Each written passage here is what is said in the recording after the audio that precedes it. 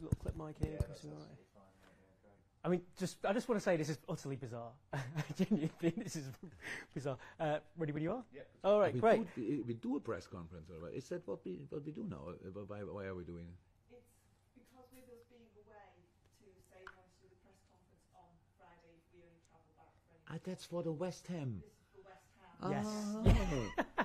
Sorry, I, I had the same thought as well. I spent all this time Okay. researching Austrian football. if you would have asked me now, I'd have like, huh? What's he talking about? So now I get it. yeah, So, David Moyes, West Ham. yeah, yeah. I'll, I'll, I'll try and avoid talking about you know, that, that six 0 win you're gonna have i- in Austria. Avoid Oh all that. Um, I, I, the first question I'm going to ask you, you know, kind of I'm thinking about this a lot as a fan. Last season, when things maybe weren't quite going as well for you, and I kind of felt for you a little bit. I mean, things are going really well now. I mean, are you still enjoying it?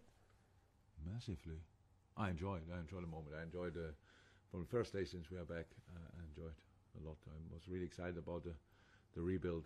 Was really excited about the the boys, the the new way, the new energy. We decided last year already that we have to change a lot, but that we want to change it for a good and not because we have to. Um, and yeah, I'm really excited about that and still am. So that's it. We are far away from perfect. We are really not there. We are not stable yet. We are so many things not, but we are a lot of things already and um, a lot of exciting moments in the games. And I think that's a good start, not more. But as a start, it's absolutely okay. And um, I was watching back the highlights from the from the Aston Villa game, so two games ago, well, three Yeah, games ago. Yeah. Um, and the club commentator said, you know, this, the new Liverpool are here. And is that how you see it as well? You talked about this was that's why I mean were not stable because this was a really, really, really, really, really good game. Um, but then two weeks later, after the national break, we played a really, really, really, really, really bad first half. So that's, but it's yeah, nobody wants to see that. Nobody wants to be part of it. But it's part of the deal a little bit. So you cannot. Uh, when you want to change things, you can't expect that everything clicks from the first moment. If you expect that, then you are never happy with the steps you make, and that's important for development. So, and yes, Aston Villa was was top, and was yes, it was the new whatever you want, uh, Liverpool uh, 2.0. That's uh, I see it as well like that. But uh, that's only uh, one one glimpse of what we can be because we don't know where, where that will end up. Obviously, um, so it's just a was a real good sign that we that, uh, that we are in a moment going into the right direction. I think that's really important. Uh, you've talked about players learning through this season so far. and You mentioned the Wolves game as well. Where do you see this team at the moment? How, how much are these players learning? I don't know. I don't know where we are exactly because we, we showed these kind of different phases. But um, obviously, the things we went through now already in this season, are not that's usually that's enough for a whole season. You have you have to done these kind of things after after 38 games, and we have it after five. Um, twice red card, 10 men down, turning games, blah blah blah, and and and these things, and now did it again in a played a really bad half and a very good half and turned around again. That's really, again, it's not what you plan, it's not what you want, but when you have it, you have to go through it, and that's what we did. And so it shows just the boys grew already together in a in a manner and an extent we probably didn't expect that early. Um, that's it. I cannot make any kind of um, um, I can estimate at all um, about how it will look in the next four or five weeks. The only thing what I can do is work extremely hard to make it as positive as, as somehow possible. But so many extremely strong opponents. West Ham is one of them when you see them. Really exciting project as well. I'm happy for David um, that he really could build this team now over a few years. And even with Declan Rice out, they look really, they look really good. I have to say, Ward-Prowse super signing. Paqueta is not a new signing, but is a super player. With all the other guys they had already, that looks really solid, and and that makes it really tricky. And then we have all the other teams, the top four, five, six, plus, plus, plus. Uh, where you want to start, where you want to end. The league is extremely strong. It's good for the people, but means for us we have to be the best version of ourselves. Uh, and on David Moyes, then you, you know he's he had that pressure then things have turned around for him. He's now one of the longest standing managers, as are, as are you. Do you think we're kind of do you think football fans are kind of appreciating that actually it is worth sticking with the manager in, in the long run? Uh, that depends to the results. When you win, then it was worth waiting. Uh, if you lose, then it um, was not worth waiting. So that's that's fine. It's I can I, I don't think there's a the, the right answer for. Um, sometimes it's right to stick together, and sometimes maybe not. I don't know. Um, I, there's not there's not an example, but they I think David with this history in the Premier League and his history at West Ham, if anybody deserved to get through this little bit lesser good period, it's definitely him. I think he's an exceptional manager. He's an exception. He's a really good guy. We don't know ex- both. We don't know each other extremely well, but we ex- respect each other a lot. Um, I feel that when we when we speak to each other, and and um, yeah, it's it's really nice nice to nice to watch um, how how they came through it and won the European trophy, which is absolutely outstanding, and what it makes to the club. So yeah, it's it's it's a it's a really cool project. I cannot say differently, um, but we play them, and that means we want to beat them. um, just ask you about a, a, player who, as an Englishman, would be very excited about Jarell Quansah. You know, 20 years old, playing as a centre half in a Premier League game you know, for any England fan watching, would be going, well, this is one really going to look to the future. Where I'm not talking about England right now, but you know, where where is he up to in his development and his journey here? In the right, right moment, in the right club. Yeah, that's it. It's, a, it's our boy, fantastic boy. Um, one with the U20s of um, of England, obviously a massive, massive um, competition. Um, played a super preseason with us. Uh, that's really good and deserved to start um, in the last game against Wolves. That's as easy as it is. It was. Some people might say it's a brave decision. I didn't feel it was a brave decision from us because we, we, we had obviously Ibou ready-ish to days training. We, we had centre halves we had to bring uh, with, with, with, half an hour training, more or less, um, to bring it because the others were not, were not ready.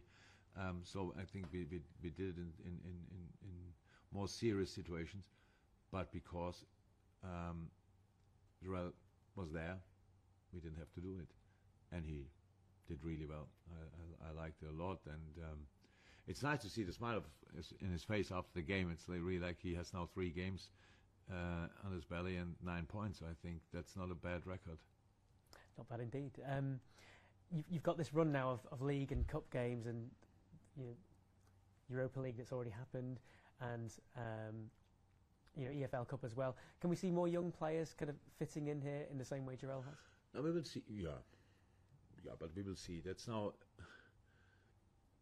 Look, I understand about 100%. So it's the early stages of the season. As long as we we have when everybody's fit, um, then the very young boys probably will not have that much game time. That's how it is in the moment when, when other players get out. But it's not. It's in this in this age when you're 17, 18, 19. There's not a problem. It's nice to have a game here or there, but it's much more important you have these games the moment you are really ready for it. So it's not there to show that they are nearly there. It's actually there to bring them when they're really ready to do it. And that's some of them might be already and or not, but that makes no difference. At the end of the career, look back. It's not important if you if your first game was in in, in September 23 or in September 24. It really doesn't matter. But in that time, for a lot of people, it makes a massive difference. But when you look back, there is no difference. So for us, it's about being as successful as possible. That's obviously very important. Um, but to use the player in the perfect moment for them. Um, West Ham are four unbeaten, and then they've lost to City. They're playing in Europa League as well, like you are.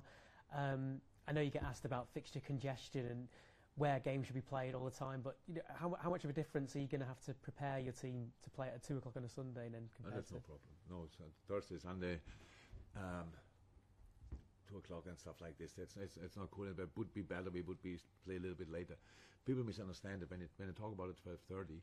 It's not, and it's only two and a half hours before the three o'clock. Yeah, that's true, but it's completely different when you have to get up. We have at nine o'clock pre-match meal. That means the boys they are really they are not there yet in their in their because they come from a completely different time zone, and everybody who had ever a jet lag knows how, how that is. Even if you're not a jet lagger, you still feel the difference. And you now you get up and you have to be at your absolute peak of your performance level in a moment where it's really difficult.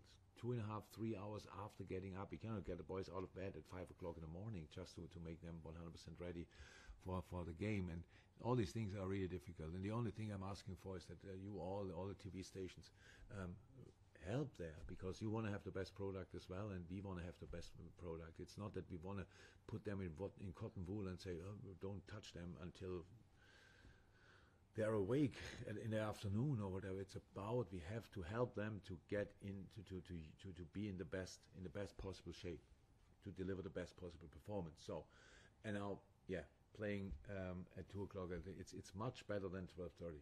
You, m- people might say it's only one and a half hours, but you only can say that if you don't really understand it, the, the, the, the, the issue. Um, Darwin Nunez, and they get asked about him a lot as well. Last game, he had so many great chances, getting into the right position. You know, as a as a as a neutral, it looks like he's doing all the right things. You know, is his confidence as high as it as, Yeah, as you want it to be? It's you know? really good. It's in a really good moment. Uh, enjoys uh, his game. Um, a lot of the moment, that's fine.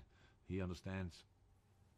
You have only a problem as a striker when if you don't have any chances. He has chances, opportunities. He's, obviously, it's not too long ago he scored the two most incredible goals I saw for a long, long time against Newcastle. It's absolutely insane. Um, played a super game against Aston Villa. Then was international break. Had there a little bit muscle-ish here. Um, he, he said he's fine, but we read obviously what Bielsa said. Then he had as well a very intense travel, so we decided not to start him, but came on, has a massive impact on the game. He's a good moment, and you see that in training. It's not important in the moment if he if he scores already or not. We for, for a striker, it's important that in these moments where you don't score but play well, you understand it right, and just keep keep going, and then everything will fall in place anyway. Final two questions. Um, padel. Apparently, you've got a game with Neal Skupski. Is that is that right? I would have had if I don't have to do the interviews today because he was here in the building with his brother, um, with Ian. But it's not possible because I had too many TV interviews. Otherwise, I would have played. But it's not. I, it's not fair because he's a professional tennis player. But it's not fair because he never played padel before. So we will see. He's, he lives obviously not too far from here when he's in England. So we will find a moment where we can play. Definitely. Do you reckon you could have him in a game of padel then? No, actually not. Maybe the very first game we will not explain the rules. I will just will just smash him. But uh, second game from second game on, no chance. Uh, and final question.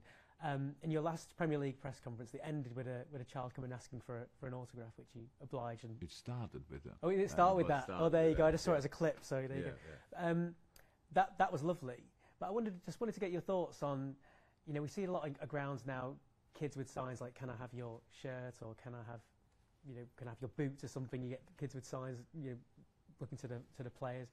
What were your thoughts on that? Because obviously, for a, for a player, they can only give the stuff away to so many people, and it feels there's a lot of there's a lot of kids you end up disappointing. I don't know. Do you, do you feel that's a, Oh, that's a that's a general problem. I don't know now exactly how it was with boots and shirts. Nobody asked me for that in a long time, but it's just it's it's all about we cannot.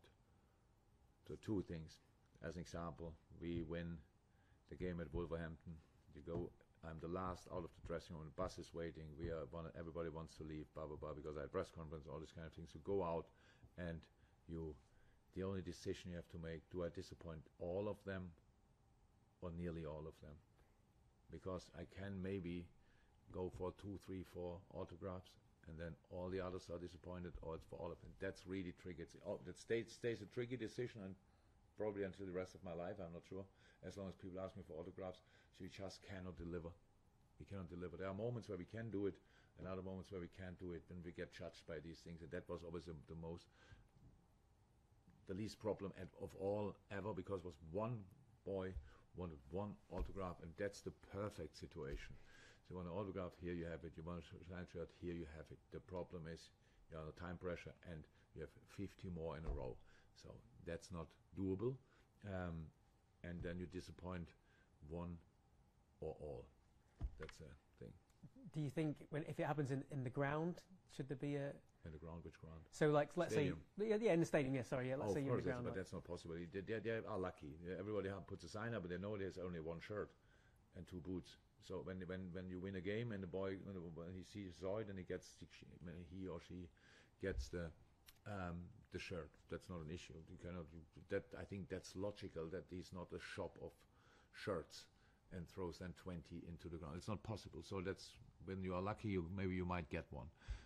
so, so what, what I'm really getting at is here is, is do you think they should should be allowed to do that really I because all know. these other never, kids are never thought about it. But the only thing what I can say, nobody uh, got raised without disappointment. There are bigger issues than be disappointed from time to time as a kid.